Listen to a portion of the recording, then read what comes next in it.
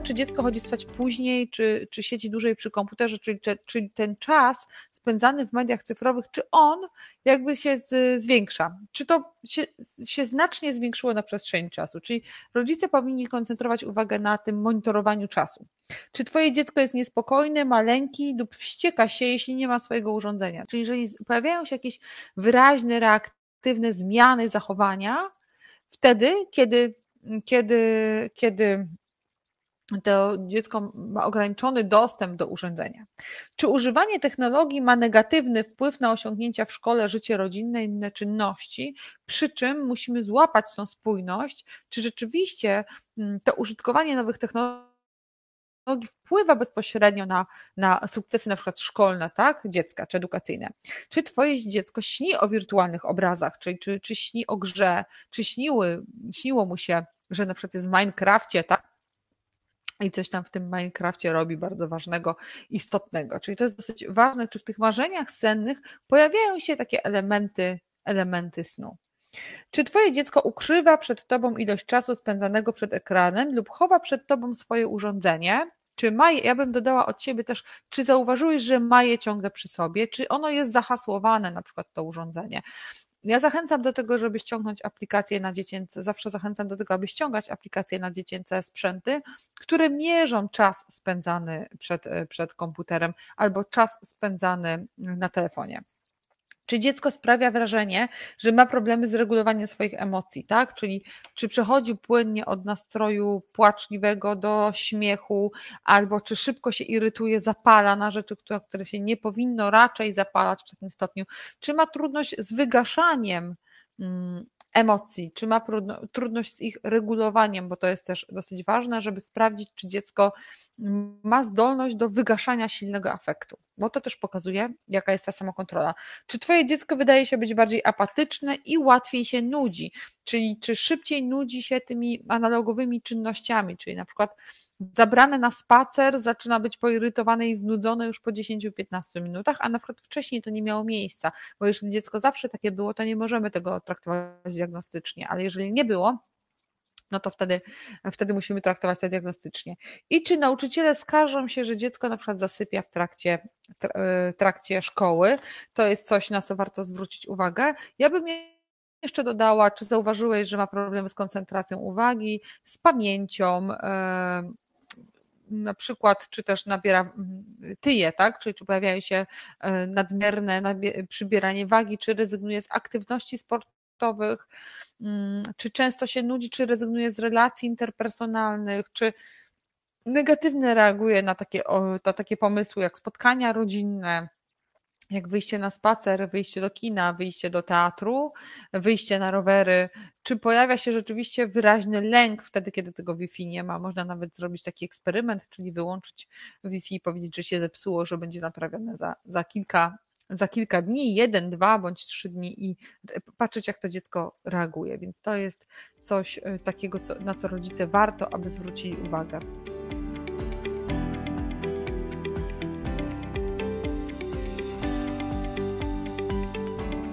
taki nastolatek, u którego rozpoznajemy, że pierwotnie jego e, środowiskiem życia jest świat cyfrowy, to nie jest nastolatek, któremu możemy zrobić detoks, tylko to jest nastolatek, którego najpierw musimy nauczyć konkretnych zachowań, które on będzie mógł wykorzystać wtedy, kiedy będzie w trakcie detoksu cyfrowego.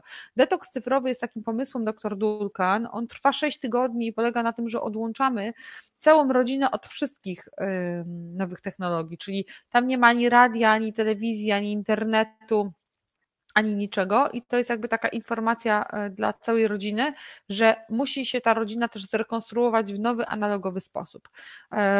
On musi trwać nie mniej, nie więcej więcej może, ale nie mniej niż 6 tygodni, żeby te cechy psychopatologii wywołanej uzależnieniem od sieci, one się cofnęły, tak? Czyli y, to jest taki czas, który jest potrzebny do tego, żeby ten mózg zaczął na nowo funkcjonować.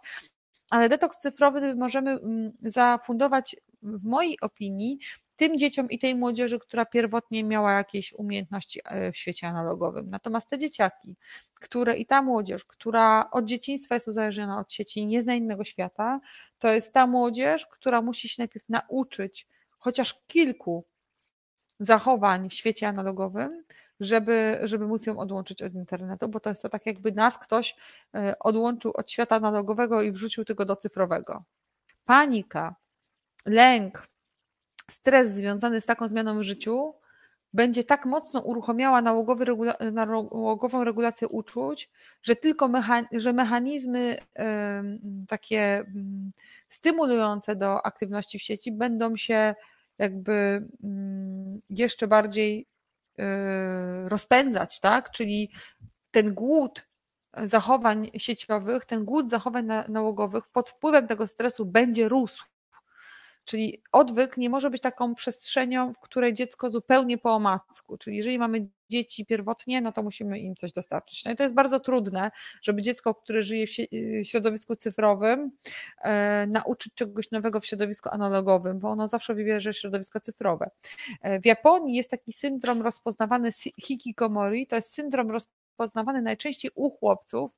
Syndrom ten dotyczy chłopców, którzy siedzą w domu zamknięci i y, korzystają tylko z świata cyfrowego, nie korzystają ze świata analogowego. W Japonii mówi się o tym, że prawie każda rodzina ma swojego hikikomori. E, tym członkom rodziny dostarcza się po prostu jedzenie pod pod, pod drzwiami. Swego czasu był w Polsce nakręcony taki, może nie do końca w prawidłowy sposób oddający mechanizmy tej choroby, ale jednak dotykający tej problematyki film e, Samotność w sieci. E, Samotność w sieci to był? Nie, to nie był film Samotność w sieci, to był film Sala Samobójców, przepraszam. Sala Samobójców.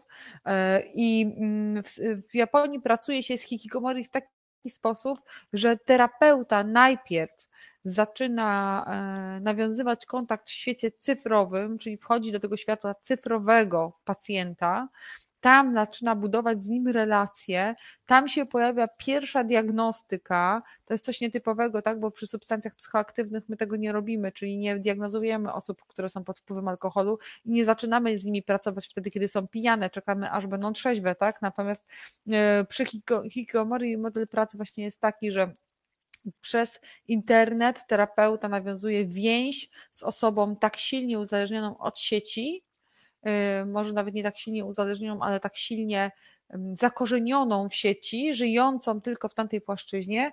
I jak ta więź zostanie nawiązana w taki sposób bezpieczny, to z tamtego miejsca stymuluje te osoby, taki terapeuta do tego, żeby one decydowały się opuścić swój pokój na przykład, tak, albo zamienić kilka zdań ze swoimi bliskimi. Nie, nie oczekujmy też takich spektakularnych efektów, bo to też nie jest tak, że ta psychoterapia przebiega w taki sposób, że dziecko opuszcza pokój i zaczyna normalnie żyć. Ja też myślę sobie, że cyfrowi tubylcy to są te osoby, które pierwotnie wychowały się na tym terenie i one zawsze tego terenu będą potrzebować.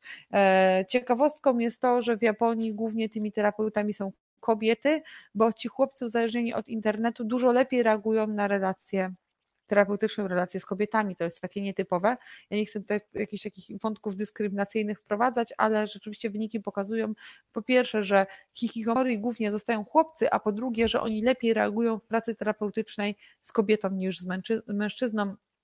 Nie wiem, jakie są u, u takie implikacje tej, y, tego, tego zjawiska, że akurat chłopcy są bardziej podatni i że zdecydowanie wolą kobiety, natomiast takie są ich doświadczenia terapeutyczne.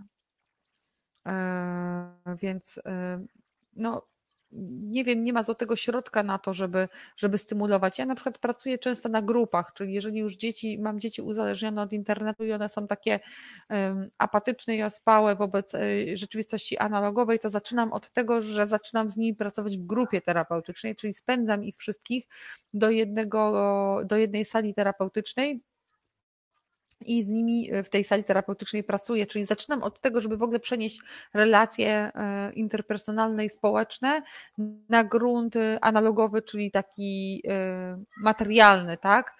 Czyli organizuje środowiskowo takie warunki, w których dzieciaki mogą, uzależnione od y, cyfryzacji, mogą doświadczać, zdobywać analogowe doświadczenia, nawet jeżeli one im się nie podobają, to jednak wzbogacać ten swój repertuar. Zresztą ja mam zawsze taką tendencję i z tyłu głowy taki pomysł na to, żeby pracować środowiskiem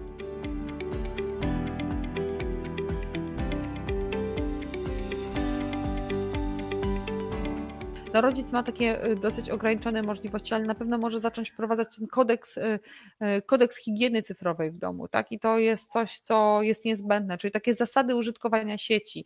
Na pewno stały dostęp do, Wi-Fi, kupowanie dziecku najlepszego sprzętu cyfrowego, jaki jest na rynku, doładowywanie internetu za każdym razem, kiedy on się skończy, zezwalanie na to, żeby dziecko było cały czas w sieci, no to chyba nie jest najlepszy, najlepszy po prostu taki y, pomysł. Więc trzeba by było zacząć od tego, jakimi my w ogóle zasadami chcemy się chcemy się kierować. Też warto zwracać uwagę na to, że jest coś takiego jak cyfrowe cukierki, jest coś takiego jak cyfrowe warzywa, tak? I cyfrowe cukierki to na przykład surfowanie po sieci w poszukiwaniu nie wiadomo czego, czyli takiego zabijaniu nudy, a cyfrowe warzywa to są, to jest na przykład surfowanie po sieci w poszukiwaniu konkretnych informacji, które mi są potrzebne do tego, żeby na przykład się ubogacić w jakąś wiedzę.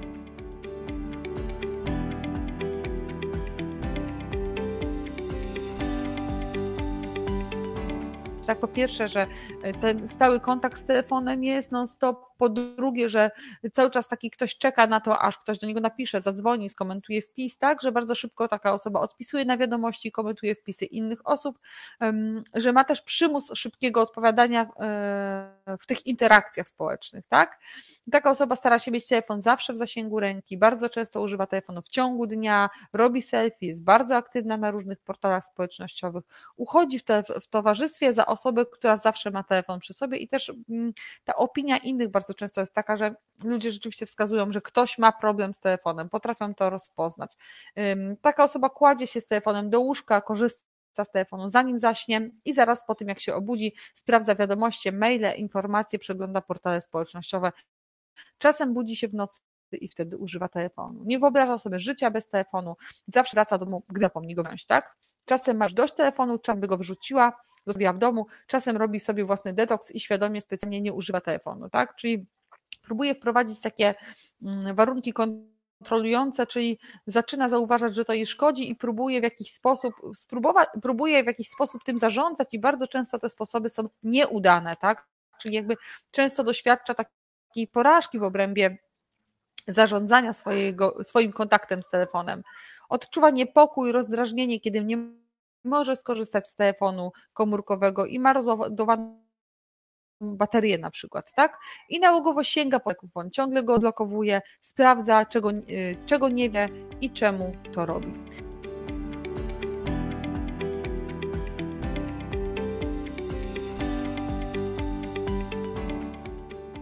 Na pewno jest to terapia poznawczo-behawioralna, czyli taki, taka praca nad przekonaniami, nad zachowaniami, nad zachowaniami nałogowymi. Na pewno jest to psychoterapia systemowa, czyli taka, która uwzględnia cały system rodzinny i która e, traktuje uzależnienie jako delegowanie do. Na pewno jest to klasyczna psychoterapia uzależnień z tymi swoimi założeniami dotyczącymi zapętlania się ze sobą wzajemnie psychologicznych mechanizmów uzależnienia i na pewno takim preludium do psychoterapii może być ten detoks cyfrowy, oczywiście pod warunkiem, że jest to dziecko, które ma już jakiś repertuar pierwotny, tak, e, e, wyćwiczony, więc e, jakby ten detoks wprowadzamy wtedy, kiedy uzależnienie pojawiło się na jakimś etapie życia, a nie jest, a nie, że jest normalną częścią funkcjonowania, funkcjonowania mm, danego dziecka i danego nastolatka. Zawsze w pracy z całym systemem rodzinnym zwracamy uwagę na to, żeby cała, cały system rodzinny rzeczywiście przychodził na mm, sesje terapeutyczne, tak? Czyli jeżeli bierzemy do pracy system rodzinny, to ten system rodzinny powinien być delegowany całościowo do psychoterapii w gabinecie, a nie, że dziecko przychodzi raz w tygodniu, a rodzice od czasu do czasu. Ja w swojej pracy terapeutycznej korzystam z narzędzi psychoterapii systemowej, y, korzystam z narzędzi klasycznej psychoterapii uzależnień. Czasem, jeżeli ćwiczymy, eksperymentujemy z nowymi zachowaniami, to korzystam z narzędzi psychoterapii behawioralnej, więc to jest dosyć ważne ważne. Pamiętajcie też o tym, że jeżeli mm, rodzice wpadają na taki pomysł, że zaczynają używać internetu jako nagrody i kary, czyli jeżeli będziesz postępował tak jak ja chcę, żebyś postępował, to dostaniesz internet, a jak nie, to ci go zabiorę, to wtedy tylko wzmacniają to narzędzie z takiej czystej, klasycznej koncepcji behawioralnej, tak? To, to tylko wzmacniają to narzędzie, jakim jest internet i pamiętajcie, że jeżeli wprowadzamy jakieś zasady, mm, to złamanie tych zasad kotwiczy uzależnienie, bo w behawiorystyce jest takie, e, takie podstawowe założenie, że nieregularne wzmocnienia działają najmocniej, tak? Czyli one najmocniej kotwiczą zachowania. Czyli jeżeli ja y, z dzieckiem się umówię, że ono ma karę i teraz nie będzie miało e, internetu przez tydzień, albo się umówię, że od dzisiaj korzystamy z internetu w godzinach od 12 do 18 i po paru dniach się złamię i pozwolę dziecku posiedzieć do 20 i robię to raz w sposób nieregularny, to tym jednym nieregularnym zachowaniem wzmocniłam e, uzależnienie i ono jest silniejsze niż dwa tygodnie konsekwentnego postępowania. Tak? Morał z tego jest taki, że jeżeli wprowadzamy zasady, to tylko takie, których potrafimy się trzymać. Czyli lepiej zrobić zasady szersze, które są y, egzekwowane, niż zasady nadmiernie wąskie, które będziemy nieregularnie łamać, ponieważ takie nieregularne wzmocnienia najbardziej kotwiczą zaburzenia. I to jakby z takiej perspektywy psychoterapii behawioralnej jest najważniejsze, jeżeli chodzi o eksperymentowanie z nowymi zasadami, wprowadzenie higieny cyfrowej. To strasznie ważny aspekt.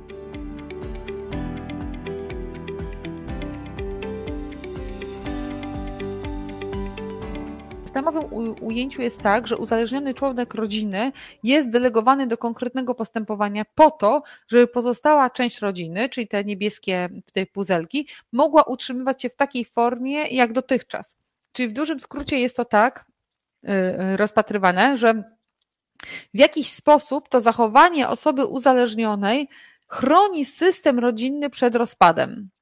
Czyli na przykład Dziecko, które spędza bardzo dużo czasu w internecie i które nie wymaga jakiejś bardzo dużej e, aktywności ze strony rodziców, chroni przez system przed rozpadem w taki sposób, że rodzice mogą spokojnie wypoczywać po pracy albo pracować do późna.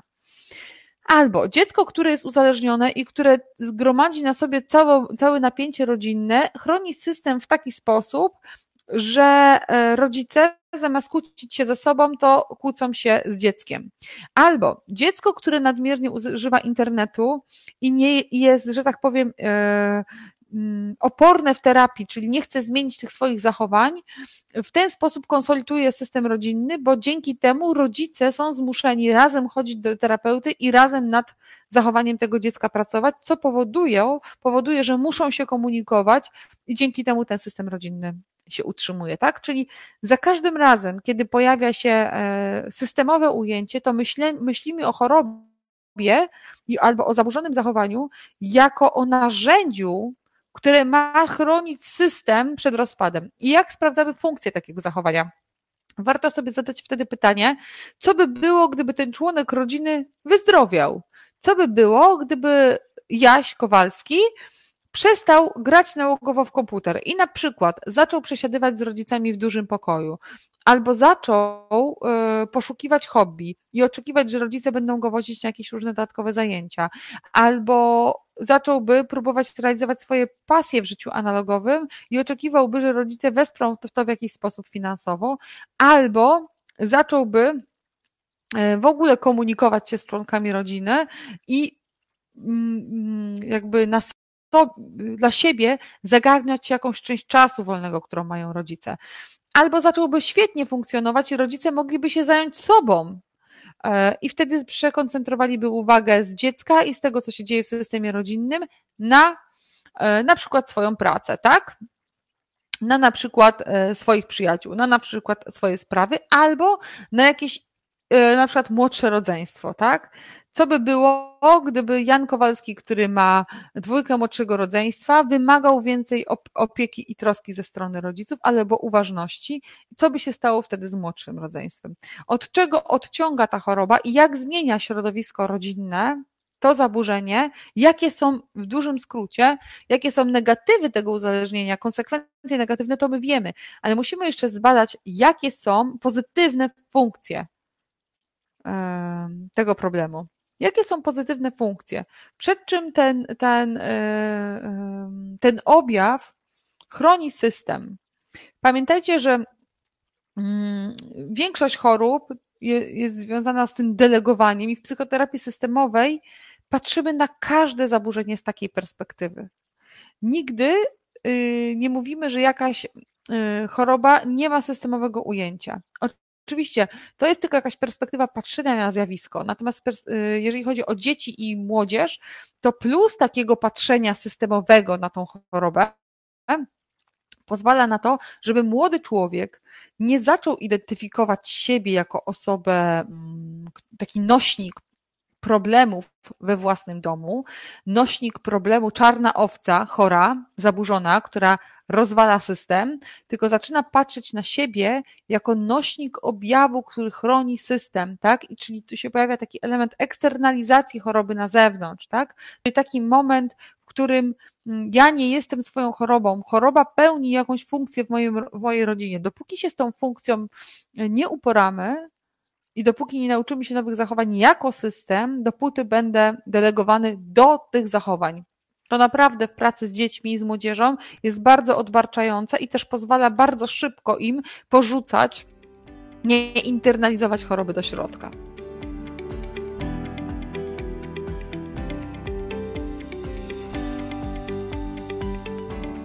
Mamy typologię uzależnienia od nowych technologii. Ona też y, implikuje sposób y, pracy terapeutyczną. Mamy takie cztery jakby grupy.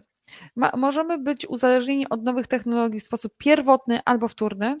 Pierwotny to wtedy, kiedy dostałam świetny komputer, strasznie mi się spodobał i zaczęłam na nim grać i gram na nim od lat i jestem uzależniona od samego używania tego medium. A wtórne to takie, że nie mam co robić w wakacje, nie mam przyjaciół, nie mam z kim się spotykam, spotykać, więc zaczęłam aktywnie spędzać czas w internecie, żeby w ogóle mieć dla siebie przestrzeń. Specyficzne to wtedy, kiedy e, gram tylko w jedną grę i to jest na przykład Tetris i od niego jestem od niej jestem uzależniona, na niej strasznie mi zależy i z nią przeżywam lęk. W związku z utratą tej gry przeżywam lęk, a drugie to uogólniona, czyli nie ma znaczenia, jaką aktywność realizuje w sieci. Ważne, by to było w wymiarze cyfrowym i z użyciem nowych technologii. I teraz spójrzcie, jeżeli ja wiem, że to jest uzależnienie pierwotne, to pracuję nad kontrolą nawyków i popędów. Jeżeli i nad wytworzeniem nowych zachowań. Jeżeli ja wiem, że to uzależnienie jest wtórne, to ja pracuję nad pierwotnym źródłem tego uzależnienia. Jeżeli ja wiem, że ono jest specyficzne, to mogę dzieciaka odłączyć tylko od tego e, strumienia. Jeżeli ja, a resztę zostawić i uczyć korzystania z e, cyfrowych warzyw, jeżeli to jest uzależnienie uogólnione, to ja nie mogę e, uczyć korzystania na razie z cyfrowych warzyw, to ja muszę odłączyć i zrobić cały, całościowy cyfrowy do, detoks, tak? Czyli jeżeli ja mam specyficzne, to mogę odłączyć, zrobić cyfrowy detoks wo, wobec tego specyficznego zaburzenia, ale jeżeli mam uogólnione, to robię go całościowo.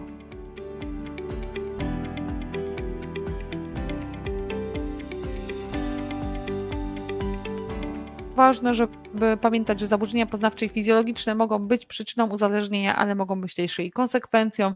To samo z zaburzeniami emocjonalnymi, to samo z zaburzeniami samokontroli i to samo z zespołem amotywacyjnym, tak? który jest takim e, komponentem uzależnienia. Inne zaburzenia, które się pojawiają w przebiegu tego, tego rodzaju uzależnień to FOMO, czyli Fear of Missing Out, czyli lęk przed pominięciem, fabbing, czyli ignorowanie kogoś przez grzebanie w telefonie, fonoholizm, czyli uzależnienie od telefonu i kompulsywne SMS-owanie, to jest powyżej 120 wiadomości tekstowych dziennie, przy czym jeżeli robię pauzę, to w jednej wypowiedzi wysyłam na przykład 5 wiadomości, to liczymy je jako 5. E, czyli to są takie konsekwencje.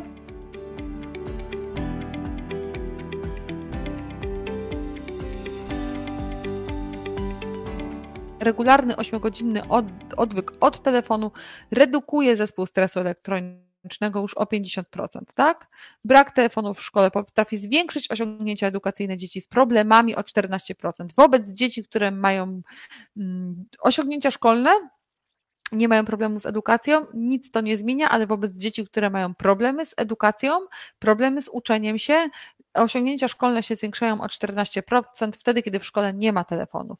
Cała metaanaliza z 2012 roku pokazała nam, że technologia edukacyjna, czyli wszystkiego różnego rodzaju narzędzia e, edukacyjne e, w szkole służą tylko wtedy, gdy ta szkoła już jest bardzo dobra i tylko wobec uczniów, którzy świetnie się uczą, czyli nie pełni funkcji kompensacyjnej. Czyli jeżeli to jest tak, że ja mam dziecko, które ma problemy z uczeniem się i koncentracją uwagi na lekcji, to zafundowanie mu tablicy elektronicznej kolorowej mm, nie zwiększy efektów edukacyjnych, niestety.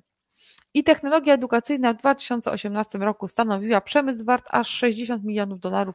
To jest strasznie duża e, ilość. To też pokazuje, mm, ja wam o tym środowisku, tak, że środowisko rodzinne jest pełno, pełne e, technologii, ale też środowisko szkolne, edukacyjne, wychowawcze jest pełne technologii, ponieważ szkoła jest naszprycowana e, cyfryzacją.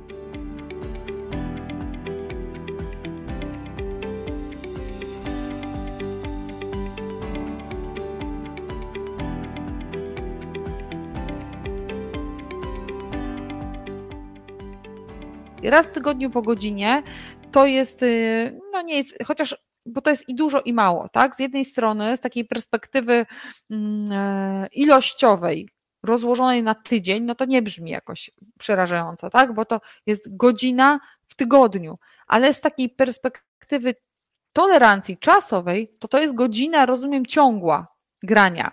To jest dosyć długo, jeżeli chodzi o stymulowanie y, mózgu naraz. Czyli ja bym wolała, żeby to było, jeżeli już, to trzy razy po, cztery razy po 15 minut niż jeden raz godzinę z samej y, y, specyfiki budowy y, mózgu i procesów poznawczych.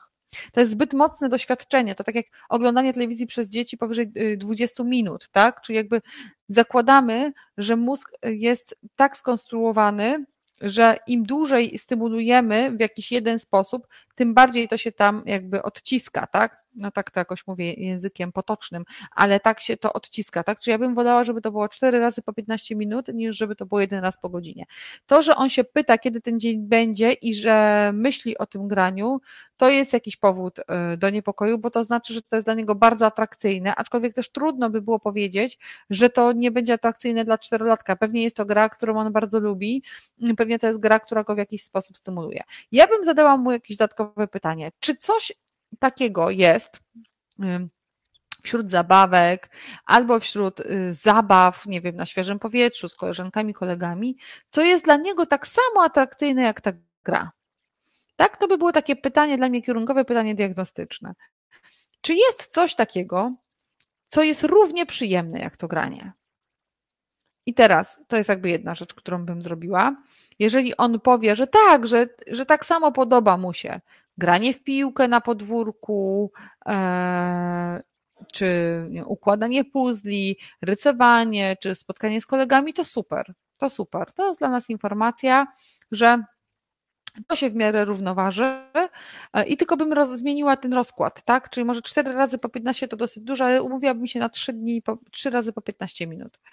E, natomiast y, drugi krok, który warto zrobić, to warto robić taki eksperyment, co by się zadziało, gdyby tego dnia o tej godzinie, o której miała się odbyć gra, nagle się y, nie mogła ona z jakichś innych, na przykład no nie, no, no tym razem się to jednak cię nie uda, bo chciałabym ciebie zabrać na basen na przykład, tak? Albo czy on jest w stanie bez lęku, agresji i jakiegoś takiego niepokoju mm, odpuścić tą grę na rzecz innego zachowania, które lubi, tak? Bo nie możemy mu podsunąć rzeczy, które których on nie lubi, tak? Czyli e, wiadomo, że będzie reagował niepokojem wtedy, kiedy zaproponujemy mu no nie wiem, narysowanie na przykład tak nie jest fanem, tak, używania kredek, więc e, to musi być coś, co on lubi. Czy jakiś czas, e, co jakiś czas ponawiać, tak? Ponawiać te pytania. Jeżeli się pojawi i, to, i to działanie, jeżeli się pojawi trudność w odstawieniu tego grania, albo taka refleksja, że nie ma nic równie przyjemnego, to warto dopytać dlaczego, e, ale też już ja bym wtedy ograniczała aktywność związaną z grą.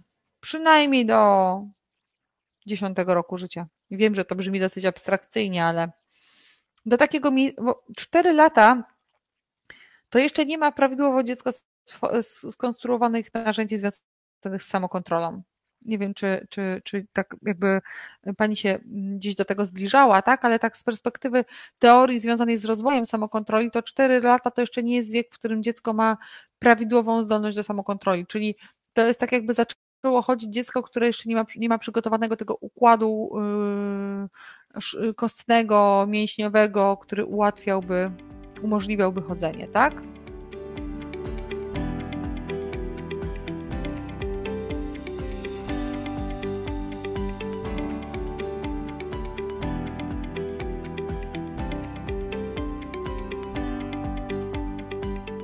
U dzieci z fobią szkolną, e, które są, e, jakby protezują sobie to swoje funkcjonowanie życiem w sieci, bardzo fajny efekt przynosi ten, to doświadczenie detoksu cyfrowego, dlatego że one zauważają, że potrzebują ludzi. E, tu mamy taki trudniejszy kłopot, bo ten chłopiec ma takie doświadczenie negatywne z ludźmi, ale on się tak naprawdę kwalifikuje do pracy grupowej, on grupowej z innymi dziećmi z fobią szkolną i uzależnionymi od internetu, albo do grupy dzieci uzależnionych od sieci, aczkolwiek ja bardziej bym go skierowała do grupy dzieci z fobią, z fobią społeczną, fobią szkolną, fobicznych, żeby on sobie zdecydowanie lepiej zaczął radzić z fobią swoją i z objawami fobii, ale żeby też miał korekcyjne doświadczenia w relacji z ludźmi.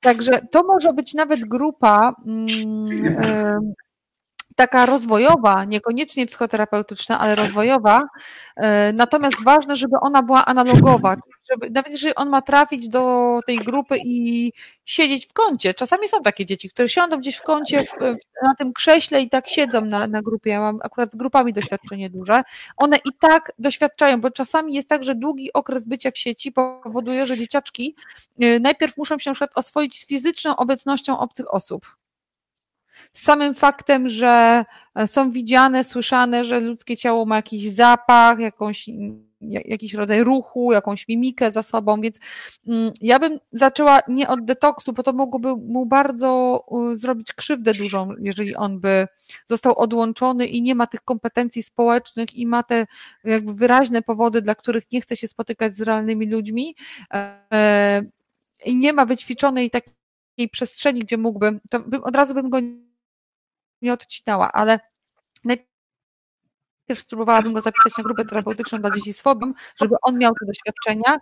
Na pewno yy, trzeba zmniejszyć ilość godzin, przynajmniej o połowę już na dzień dobry, a docelowo do detoksu, czyli jakby dziecko było w grupie e, dla dzieci z fobią, czyli miało kontakt społeczny z innymi, to można by było na pewnym etapie wejść na ten detoks sześciotygodniowy, tak? Czyli jakby odłączyć go na sześć tygodni, ale ja bym na miejscu rodziców w pierwszej kolejności na miejsce terapeuty zaproponowała pracę z grupą, bo to nie jest dziecko kwalifikujące się do psychoterapii uzależnień, takich stricte jeden na jeden, tylko to jest dziecko kwalifikujące się w pierwszej kolejności do pracy nad fobią, a później uzależnienie.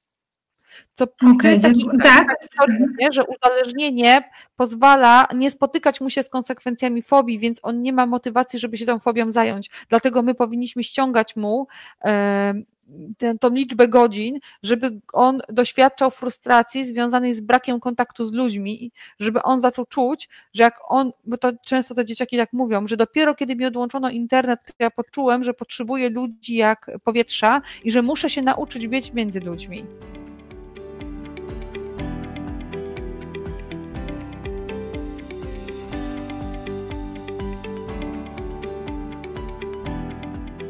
Rzeczywiście trafiają dzieci, które mają specyficzne e, upodobania, które realizują w sieci. Czyli na przykład upodobanie do, e, mam chłopca, który ma upodobanie ze spektrum mm, autyzmu, ma upodobanie do technikali, tak, różnego rodzaju, do pociągów, do jakichś takich cały czas o, o, oglądania systemów różnego rodzaju. I ten y, rodzaj jego upodobań y, powoduje, że on szuka takiej grupy społecznej, która będzie temu jakby sprzyjać, tak? Czyli która ma podobne, podobne pasje.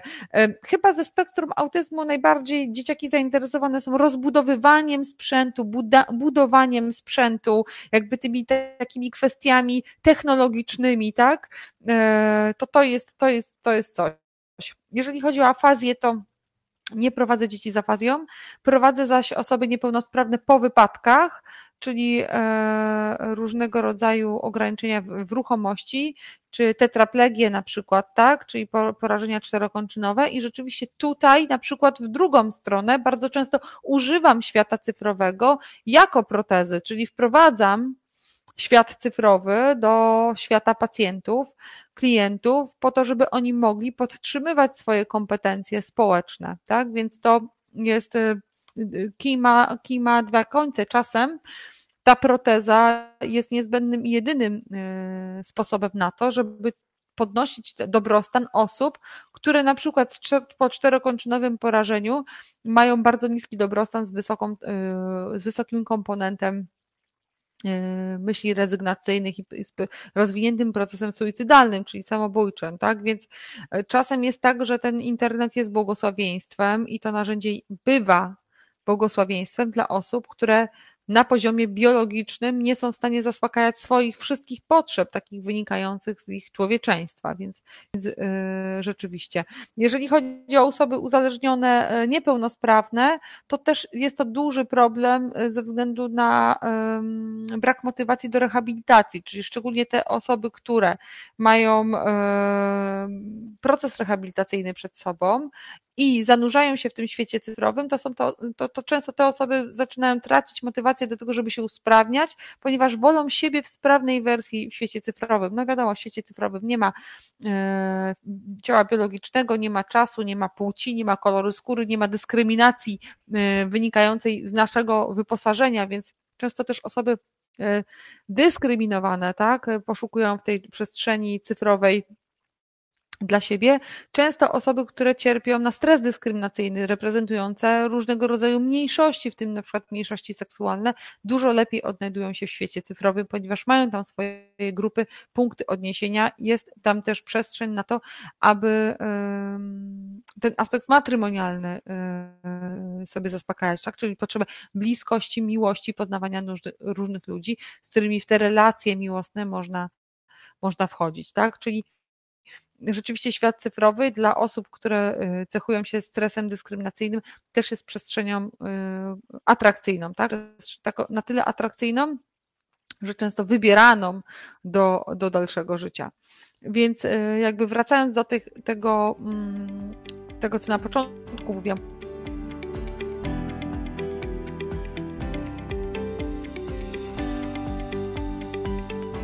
klasycznej psychoterapii e, e, osób uzależnionych od sieci sprawdzamy, e, czy tam w ogóle są jakieś umiejętności, tak, takie cyfrowe, które można przenieść na analogowe. Czyli warto też sprawdzać bardzo mocno tą aktywność, bo podstawowym błędem terapeutycznym jest niesprawdzanie aktywności sieciowej pacjentów. Czyli zakłada terapeuta czasami, że okej, okay, E, czyli to jest tak, że to jest e, pacjent uzależniony od internetu, więc odcinamy internet i za, za, e, zajmujemy się tylko życiem tu i teraz. I to nie działa. Mm, jeżeli chcecie pracować z dziećmi i młodzieżą, które są uzależnione od sieci, musicie w tej sieci być, musicie w tej sieci bywać, musicie zagrać chociaż raz w grę, w którą gra osoba uzależniona. To nie jest tak jak z alkoholem czy z narkotykami, że terapeuta uzależnień musi zażyć narkotyki, żeby móc pomóc, to tak nie działa, tak? Bo co prawda on nie wie, jak być pod wpływem narkotyków, ale wie, jak być trzeźwym. Mm, tak tutaj, jeżeli chodzi o terapię mm, osób uzależnionych od, e, uzależnionych od e, zachowań behawioralnych, to wy musicie wiedzieć, jaki, jakie tam zasoby są w tych czynnościach, czyli na przykład jeżeli dziecko gra w grę, jest od niej uzależnione i w tej grze na przykład jest bardzo duży komponent kreatywności, to już wiecie, że tym kanałem, który należy rozbudować w świecie analogowym jest kreatywność. Jeżeli w tej grze jest bardzo dużo interakcji społecznych, duża, duża potrzeba, duża decyzyjność, potrzeba decyzyjności, to wy wiecie, że tym kanałem który należy rozbudować, jest decyzyjność, tak? jest, y, jest, są interakcje społeczne, jest możliwość decydowania i jakoś um, zarządzania, kierowania, tak? Jeżeli dziecko e, w sieci głównie zajmuje się tworzeniem swojej, e, swojego wizerunku, czyli tam selfie, media społecznościowe, wizerunek, atrakcyjność, to wiecie, że kłopotliwy będzie ten komponent poszukiwania sposobu na to, aby robić wrażenie na innych, ale być może takim dobrym kanałem będzie poszukiwanie poza pracą nad poczuciem, labilnym poczuciem wartości, będzie poszukiwanie różnego rodzaju form budowania swojego autorytetu i wizerunku w obecności innych osób. Czyli nie ma takiej możliwości, żeby nie poznać środowiska życia, szczególnie wtedy, kiedy do Was trafiają tubylcy sieci, tak? Czyli mm, ktoś, kto całe życie w tej sieci spędza i tam, i tam żyje, to igno, wielką ignorancją byłoby niepoznanie środowiska życia, czyli traktujemy to jak y, czynniki kulturowe, czyli jeżeli ktoś trafia do nas do psychoterapii i reprezentuje inny system kulturowy, z innej kultury, tak? Inny system wierzeń, inny system przekonań, inny transfer wartości, to naszym obowiązkiem, zanim podejmiemy mm, z taką osobą psychoterapię, jest wzbogacić te swoje kompetencje międzykulturowe, czyli wzbogacić się o tą wiedzę dotyczącą środowiska życia osoby, z którą chcemy pracować. I to samo tutaj, musimy to środowisko życia poznać, bardzo często też docenić, bo yy, zabieramy dzieciom jakąś przestrzeń, odbieramy, a ona nie jest ukuta tylko z samych złych jakby rzeczy, tak, nierozwojowych. Tam się dzieje też bardzo dużo rozwojowych rzeczy i należy to docenić, więc tutaj też duża pokora. Warto pilnować w trakcie psychoterapii uzależnień takiego kawałka związanego z przekonywaniem dzieci i młodzieży co do tego, że internet jest zły. To jest zawsze kiepski pomysł, tak? Czyli raczej koncentrujemy się na tym, żeby, żeby mm, pokazywać dzieciom negatywne konsekwencje ich aktywności w sieci, aniżeli dewaluować samo środowisko internetu. Y, bo samo środowisko internetu, samo, same narzędzia cyfrowe, same narzędzia, te technologie, które są używane, one nie mają w sobie takiego komponentu negatywnego. No poza patotreściami, tak, o których można wyraźnie mówić, że jest to przemoc i że są to treści patologiczne, które negatywnie wpływają. Natomiast cała reszta y, wymaga naszego pokornego traktowania. Warto też nie mówić, y, nie używać takich y, sformułowań jak prawdziwe życie albo prawdziwi ludzie, tak? Ponieważ w internecie też są prawdziwi ludzie, tylko po prostu nie mamy kontaktu z ich cielesnością. Natomiast mamy do czynienia z prawdziwymi ludźmi i w internecie nie toczy się żadne cyfrowe życie, tylko to jest prawdziwe życie. E, e, tylko wyrażone w formie cyfrowej, czyli inny model komunikacji, tak? Czyli tak naprawdę internet jest formą komunikacji i w nim się odbywa prawdziwe życie i właściwie ono się odbywa w świecie prawdziwym analogowym, ale komunikujemy się y, w formie cyfrowej. Czyli jakby warto, to są takie pułapki narracyjne, na które młodzież i dzieci są bardzo wyczulone, tak? Czyli prawdziwe życie, zły internet, albo na przykład za moich czasów, tak? Albo podwórko lepsze niż, niż gry komputerowe. Czyli wszystkie formy przekonywania i dewaluowania będą działać na waszą niekorzyść, jeżeli chcecie pracować, y, pracować z dziećmi. Jeżeli nie wiecie, y, mm, jakby, nie wiecie, jak wygląda to środowisko życia waszego pacjenta, e, czy klienta, czy podopiecznego, czy ucznia, a chcecie poznać jego mm, naturę taką prawdziwą, w jaki sposób on rozmawia o tej przestrzeni, w jaki sposób on się tam zachowuje, jaki on tam, e, jaki on tam ma mm, sposoby przetwarzania świata, modele, modele wchodzenia w, w relacje społeczne, to warto zrobić sobie z dzieckiem taką sesję, mm, w której ono jest przewodnikiem po świecie. I też warto tu się powstrzymywać przed ocenami jakimikolwiek, tak? Czyli nie oceniamy przestrzeni, którą pokazuje nam dziecko i tak naprawdę no, poznajemy tą przestrzeń, ale my poznajemy to dziecko w tej przestrzeni, tak? Czyli to tak jakbyście mieli rybkę, z którą pracujecie e, i ta rybka wam opowiada o tym, że ona umie pływać i że umie z wody po, e, pobierać tlen i że to jest dla niej bardzo przyjemne i że ona strasznie lubi w tej wodzie być i że po to jej te płetwy, które teraz tak zwisają na dół i trochę przeszkadzają, bo nie ma nóg, nie może chodzić, tymi płetwami ciągnie po ziemi, tak? I dusi się trochę, bo, bo potrzebuje wody, żeby żyć. Jeżeli my tą rybę wrzucimy do akwarium i sobie ją poobserwujemy, to my wtedy wszystko zrozumiemy, tak? Jak ona się pięknie w tej wodzie rozwija, jakie ona ma zasoby, jaki ona ma repertuar, co ona w tej wodzie czuje. Będziemy wtedy wiedzieć, za, za, za czym ona tęskni i co musiałaby powtórzyć w świecie realnym, żeby móc rozpo, rozpościerać te swoje, e, te swoje płetwy, tak? I, te, I wykorzystywać te swoje możliwości i do jakich widoków ona jest przyzwyczajona. Więc warto mm, zadbać o to, żeby e, poznać to środowisko życia. Więc okej, okay, to jest jakby, jakby jedną rzecz, tak? Czyli bądźcie gotowi, bądźcie otwarci, bądźcie też akceptujący. Pierwsze sesje e, warto poświęcać nie na zakazy, Czyli nie wolno ci tego, tego, tego czy tamtego, tylko warto poświęcać na poznanie środowiska, a później na budowanie nakazów. Nie zakazów, tylko nakazów. Czyli nie zaczynamy psychoterapii od tego, żeby mówić dzieciom, czego od dzisiaj nie mogą robić, tylko zaczynamy pracę terapeutyczną od tego, że umawiamy się na to, że mimo tego, co się dzieje, wprowadzą coś. No i tu możemy wprowadzać różne nakazy w zależności od tego, może nakazy to złe, złe nazewnictwo, ale nakazy umowy yy, kierują się takim kluczem tych kanałów, tak? Czyli jeżeli dziecko wykazuje się dużą kreatywnością i siedzi cały dzień w Minecrafcie i układa tam różne światy, to jednym z nakazów będzie na przykład przerzucenie się yy, raz dziennie na klocki Lego. Albo zapisanie się na jakieś zajęcia kreatywne. Czyli najpierw zacznijmy od uposażania życia osób, y, dzieci i młodzieży utkniętej w sieci, która utknęła w sieci, a później dopiero będziemy wycofywać. Jeżeli te nowe, czyli ta faza eksperymentowania z nowymi zachowaniami jest tą fazą y, pierwszą, im szybciej przejdziecie do fazy zakazów, tym szybciej terapia się okaże nieskuteczna, bo dzieci zaczną się uzbrajać, manifestować swój opór i właściwie będziecie toczyć walkę o to, że dziecko będzie stało po jednej stronie barykady, a wy będziecie stali po drugiej barykady i będziecie się spierać o to, czy internet jest e, genialnym e, e, wytworem ludzkiej cywilizacji, czy największą zmorą. Tak?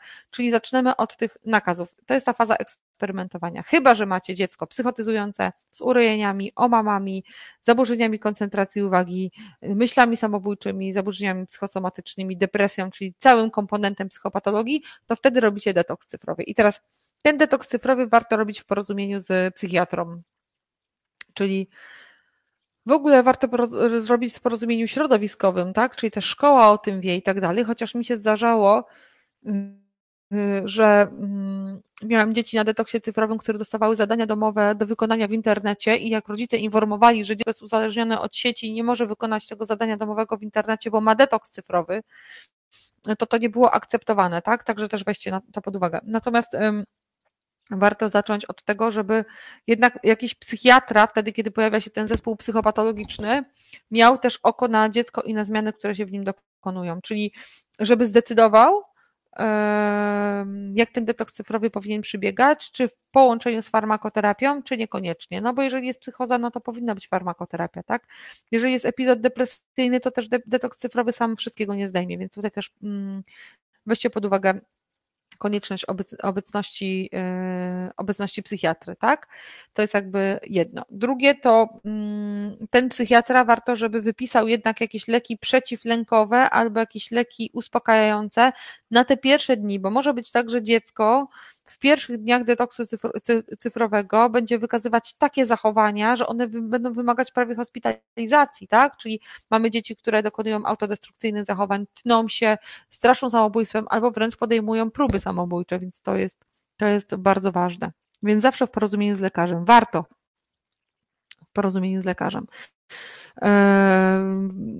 Czasami jest tak, że rodzic musi odwieźć dziecko na oddział psychosomatyczny, żeby móc tak, żeby móc y, udzielić mu pomocy. Więc y, to jest jakby jedna rzecz. Kolejna rzecz to jest taka, że ta praca terapeutyczna powinna odbywać się w takich trzech przestrzeniach. Jedna przestrzeń to jest przestrzeń psychoedukacyjna, czyli dziecko musi dostać sporo wiedzy na temat uzależnienia jako choroby. Czyli normalnie wykłady, tak jak na klasycznym odwyku się powinny pojawiać. A druga, druga przestrzeń to jest przestrzeń kontaktu interpersonalnego, czyli psychoterapia e, obejmująca zagadnienia, które się przerabia jeden na jeden. A trzecia kwestia to jest psychoterapia grupowa z innymi osobami uzależnionymi, żeby dziecku się znormalizowało, że to, co ono przeżywa, nie jest wcale takie nietypowe, tylko jest typowe dla osób uzależnionych od sieci. E, I e, w związku z tą typowością, tylko potwierdza się fakt, że one są uzależnione.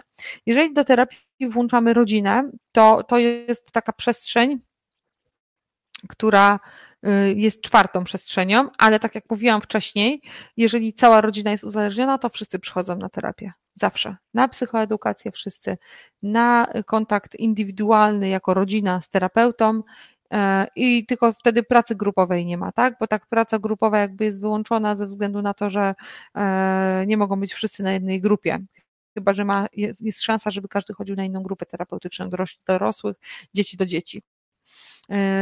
Wiadomo, warto, warto aby mm, stosować takie zasady umów, kontraktów, czyli jeżeli jest cała rodzina uzależniona i umawiamy się na jakiś sposób użytkowania sieci, no to przerwanie tej abstynencji skutkuje przerwaniem terapii. Tylko też nie bądźcie zbyt surowi, że za każdym, że, że, te, że te warunki są bardzo, że te okoliczności są takie bardzo surowe, że jeżeli przerwiecie detoks, to natychmiast wypadacie z terapii. No nie, jeżeli rodzina przerwie detoks i zgłosi to i refleksyjnie jakby nad tym się popracuje, no to wtedy wszystko jest ok, tak? Problem jest, y, jeżeli się na przykład okazuje w praktyce a co często bywa w trakcie pracy terapeutycznej dalszej, że jednak ten detoks nie wyglądał tak, jak miał wyglądać i że jednak e, umówili się ze sobą co do tego, że w soboty i w niedzielę to mogą siedzieć na komputerze i zapomnieli poinformować o tym terapeuty. E, bo to była ich wspólna domowa tajemnica. Czasem takie wspólne domowe tajemnice konsolidują rodzinę, ale z waszej, no i to jest jakby taki plus, ale y, z waszej perspektywy to jest ważne, żeby rodzina nie nie uruchamiała całego takiego nałogowego zachowania związanego z ukrywaniem zachowań nałogowych przed terapeutą, bo później, bo może się okazać, że cała rodzina stworzy system e, iluzji i zaprzeczania, e, który będzie jakby powodował, że ten terapeuta będzie na baryka, sam jeden po stronie ochrony zdrowia i sam jeden przeciwko uzależnieniu, a cała rodzina w oporze, tak? To jest też dla Was informacja, że coś tam się dzieje nie tak w tej psychoterapii, jeżeli rodzina zaczyna się okop, okopywać.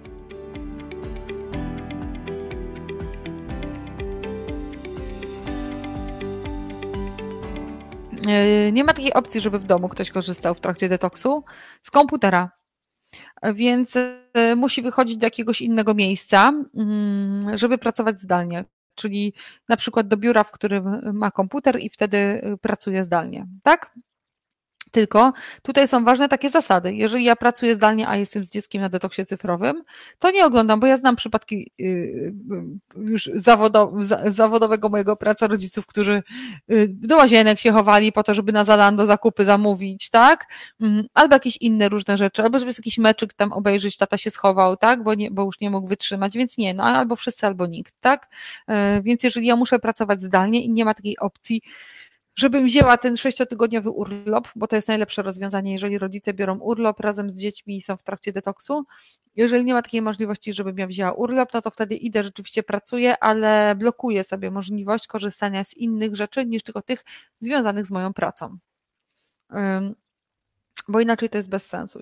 Jeżeli się tu pojawia jakakolwiek nieszczerość, jeżeli się tu pojawia jak, jak, jakiekolwiek formy kombinowania, ukrywania przed sobą, to to się po prostu nie uda.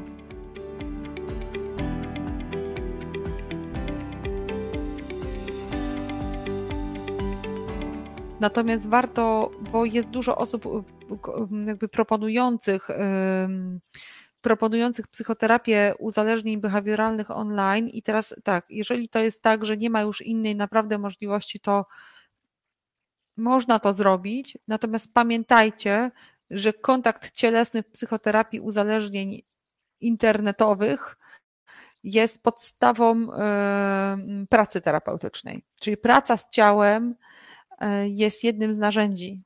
Osoby korzystające z internetu, tak jakby spojrzeć z perspektywy bioenergetyki dołenowskiej, mają to uzależnienie od sieci zapisane w ciele. Oni nawet bardzo często przyjmują taką pozycję, tak? Czyli ja obserwuję to u dzieci, które siedzą u mnie, że one mają pozycję e, zamkniętą wobec świata, ale też zamkniętą percepcyjnie, tak? Czyli i ten słuch jest taki trochę inny, to wyczulenie na bodźce wzrokowe i obojętność wobec na przykład otaczającego piękna mm, i to ciało takie zawinięte, takie schowane, embriotyczne, więc mm, embrionalne, przepraszam, więc y, w tej pracy terapeutycznej praca z ciałem jest ważna. Fajne są takie obozy y, terapeutyczne dla, dla osób uzależnionych. Czasami można znaleźć jakiś taki obóz, tylko trzeba uważać, tak? Bo teraz jest bardzo często tak, że jakieś różne kolonie mają taki dopisek, że to jest obóz z detoksem cyfrowym albo obóz offline i ten obóz polega tylko na tym, że jest offline. E, a cała reszta jest jakby tak normalnie, tak analogowe doświadczenia, natomiast nie ma tam pomocy psychologa, nie ma tam pomocy psychoterapeuty, nie ma tam programu e, kompensującego ani żadnej takiej strategii e, zaradczej dla tych osób, które są uzależnione, więc to jest tak trochę jakby wrzucić osobę uzależnioną do środowiska, w której nie może oddawać się swojemu uzależnieniu i nie dać jej nic w zamian, żadnej pomocy psychologicznej. Więc jeżeli szukacie takiego obozu offline, to zadbajcie o to, żeby sprawdzić, czy tam jest rzeczywiście pomoc terapeuty uzależnień, czy tam jest rzeczywiście pomoc psychologa, który się specjalizuje w psychoterapii uzależnień, tak? Czyli jakby to jest coś, co, e, co należy e, wykonać, bo samo offline dla osoby, dla osoby nieuzależnionej, tylko zagrożonej uzależnionej, uzależnieniem super, ale dla osoby uzależnionej to nie, obóz offline to jest za mało, żeby jej pomóc. Najprawdopodobniej to się wtedy skończy tym, że taka osoba będzie sfrustrowana, wróci do domu i pierwsze co zrobi, to się rzuci rzuci na internet, żeby tam swoje potrzeby zaspokoić.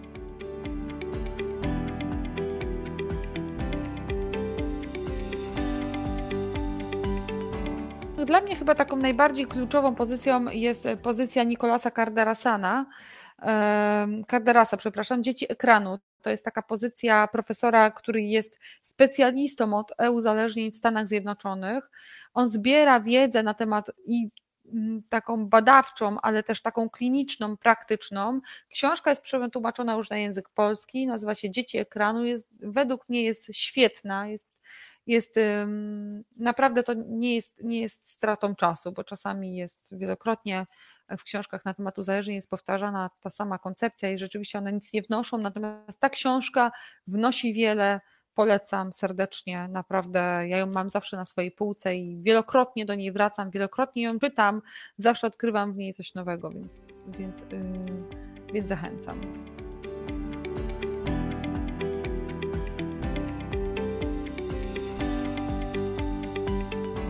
Zachęcam Was do tego, żeby się nie bać proponować y, swoim klientom, pacjentom, dzieciom, uczniom tego detoksu.